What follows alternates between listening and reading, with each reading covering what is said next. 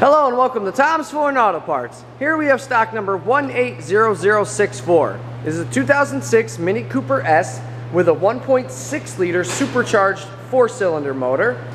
Vehicle's front wheel drive with a manual transmission, parting it out due to the front end damage you see there.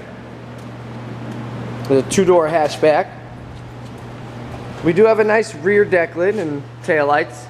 The deck lid is just missing the spoiler and it's got a little dent right there by the badge. We have nice passenger side parts.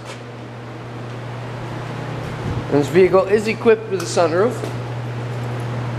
I'll take you to the interior here. We have a black and gray leather interior.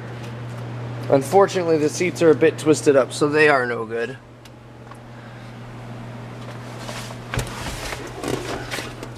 Unfortunately, we're missing the radio and the glove box is also no good. Tachometer there. Vehicle currently has 127,836 miles on the motor. Temp control, switches, got power mirrors.